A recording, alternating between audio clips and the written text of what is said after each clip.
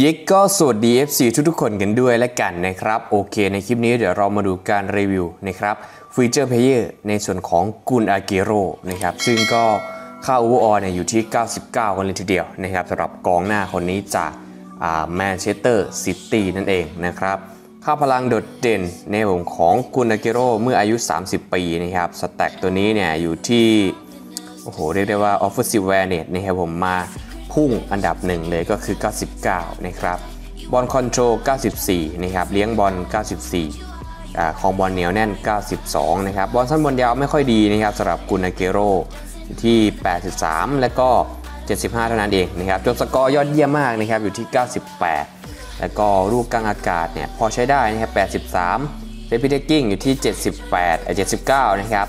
อ่าแล้วก็ speed เนี่ยอยู่ที่ 90 นะครับ ลูกปั่นโค้งเนี่ยอยู่ที่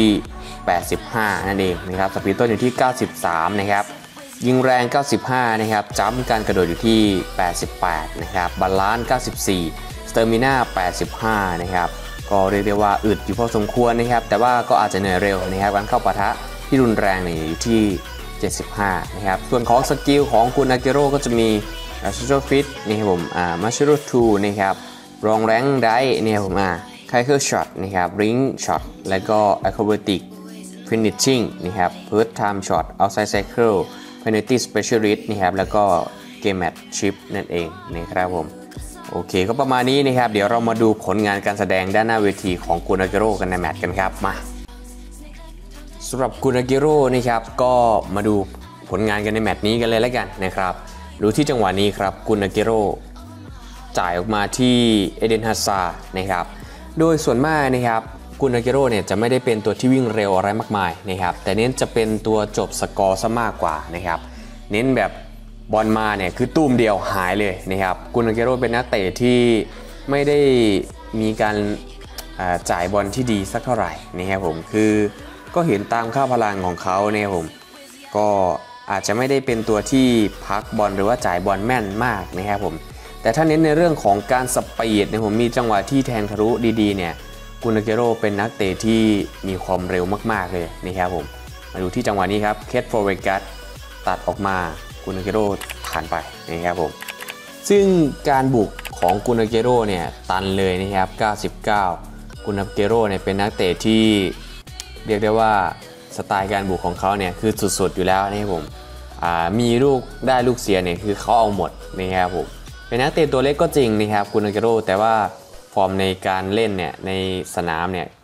คือจบสกอร์เนี่ยยอดเยี่ยมมากๆนะครับผมเป็นนักเตะอีกตัวเลยที่สุดมากๆผมในการยิงสกอร์แบบบอลมาหาเขาเนี่ยคือรอใส่สกอร์ได้เลยนะครับจะยิงระยะใกล้หรือว่าระยะไกลก็ได้นะครับผมจากการที่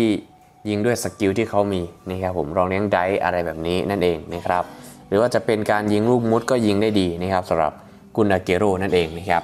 ลองดูนะครับน้องๆโดยส่วนของการเลี้ยงบอลนะครับสำหรับกุนอาเกโรเนี่ยก็พอสมควรในผมดีพอสมควรเป็นนักเตะที่ตัวเล็กนะครับไปกับบอลได้ดีนะครับไม่ว่าจะเป็นการคลองบอลอยู่ที่ 94 กันเลยทีเดียวนะครับเลี้ยงบอลก็ 94 นะครับการคลองบอลเหนียวแน่นดูครับจังหวะเมื่อสักครู่โดนตัดไปนะครับผมแต่ว่าก็เป็นนักเตะที่คลองบอลได้ดีนะครับผมไปกับบอลได้แม่นนะครับเนี่ยดูครับจังหวะนี้เนี่ย ยังมีโอกาสที่จะจบสกอร์ได้ด้วยนะครับ เป็นนักเตะตัวเล็กในผมไปกับบอลคล่องแคล่วมากนะครับสำหรับกุนาเกโรนั่นเองนะในส่วนของบอลสั้นบอลยาวเนี่ยอาจจะไม่ดีนะผมอยู่ที่ 83 แล้วก็ 75 เท่านั้นเองนะครับจ่ายบอลเนี่ยพอได้นะผมแต่ว่าจังหวะแบบนี้เนี่ยคือไม่ได้เรื่องเลยนะครับ อันนี้เป็นข้อด้อยของการ์ดตัวนี้เลยนะครับของ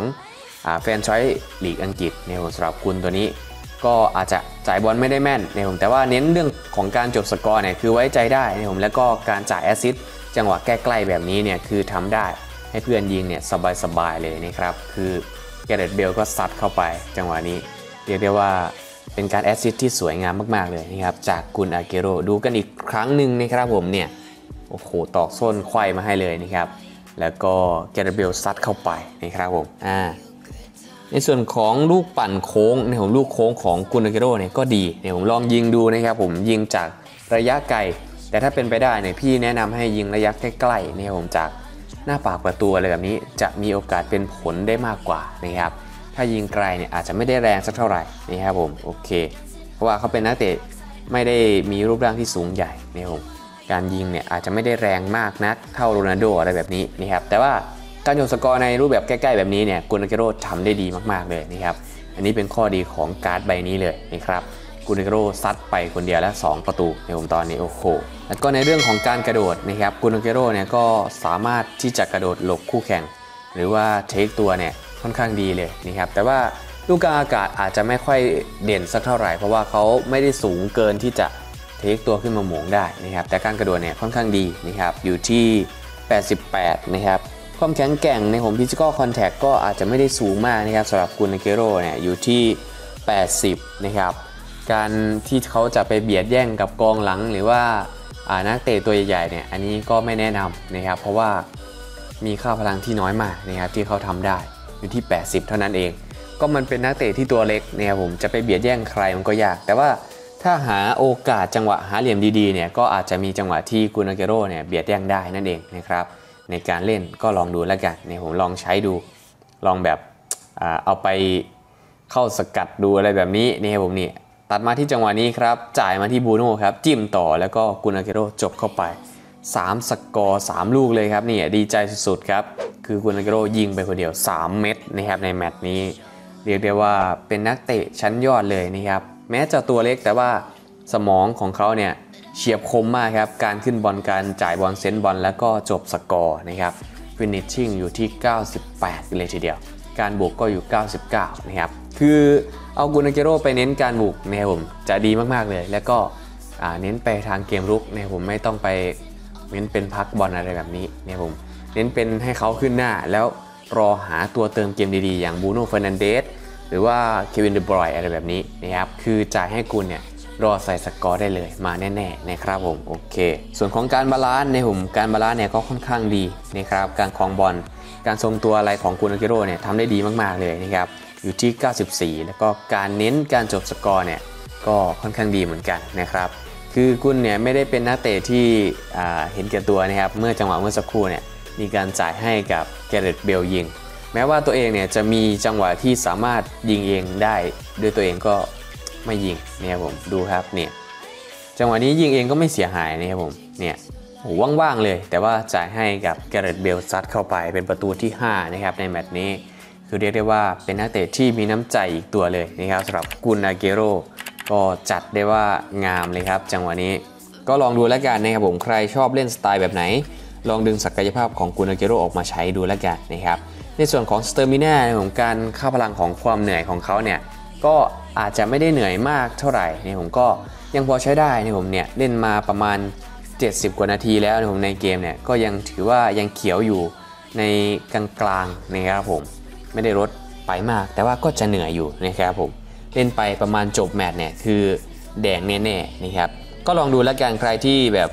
หาตัวซ้อนหรือว่ากองหน้า 2 ตัวซ้อนเล่นในแมตช์เดียวเนี่ยก็ลองเอากุนเกโรมาเล่นในครึ่งแรกนะผมแล้วก็ ครึ่งหลังอาจจะเปลี่ยนใครลงมาก็ได้นั่นเองนะครับผมโอเคแมตช์นี้ก็จบไปผมด้วยสกอร์ 5-0 นั่นเองนะครับ ก็เป็นทีมของแมนซิตี้ครับ เอาชนะจากประเทศไทยก็ไม่รู้นะครับผมอันนี้เจอกับ bot กับ 6 ดาวนะครับผม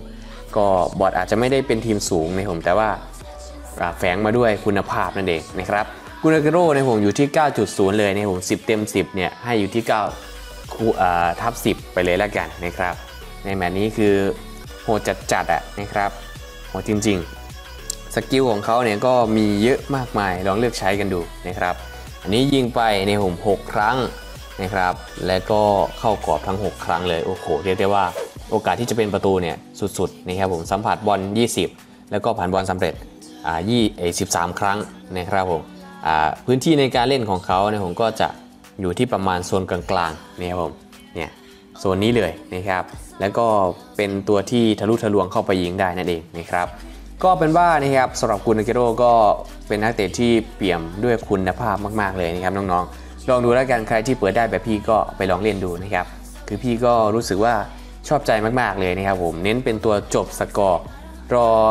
ผ่านบอลให้เขาอย่างเดียว ให้เขายิงตุ้มเดียวหายอะไรแบบนี้เนี่ยเป็นนักเตะสไตล์เดียวกันกับ พวกเฮริเคนนะครับรุยโซเรสอะไรแบบนี้รุยโซเรสอาจจะช้านะครับผมแต่ว่าจบสกอร์คมมากๆนะครับอย่างเรวานอะไรแบบนี้นะครับกุลเนี่ยอาจจะไม่ได้เท่ากับเรวานหรือว่าอ่าคมไปขนาดนั้นนะครับก็ลองลงมาจากเรวันก็น่าจะเป็นกุลนะครับอ่าแล้วก็แฮร์รี่เคนอะไรแบบนี้นะครับคล้ายๆกันใกล้ๆกันกับแฮร์รี่เคนนะครับก็ลองดูแล้วกันนะครับ อันนี้ก็เป็นไฮไลท์จากที่ channel รีวิวยังไงน้องๆก็ฝาก comment ด้วยแล้วกันนะผมคิดเห็นยังไง กับกุนอาเกโรตัวนี้ตันที่ 99 นะผม comment ไว้ใต้คลิปเลย เดี๋ยวพี่ไปอ่านดูนะครับผม ยังไงก็อย่าลืมกดรูปไลค์กด subscribe เพื่อเป็นกำลังใจให้กับ channel ด้วยแล้วกันนะผมในการทำคลิปรีวิว หรือว่าคลิปต่างๆ เพื่อให้น้องๆได้ดูกันนะครับผมยังไงคลิปนี้ก็ขอลาน้อง FC เพียงเท่านี้ล้วกันนะครับเดี๋ยวมาเจอกันใหม่ในคลิปหน้าสำหรับคลิปนี้ก็ขอลาน้อง FC ไปเพียงเท่านี้ล้วกันนะจ๊ะเดี๋ยวมาเจอกันใหม่นะครับไปแล้วบ๊ายบาย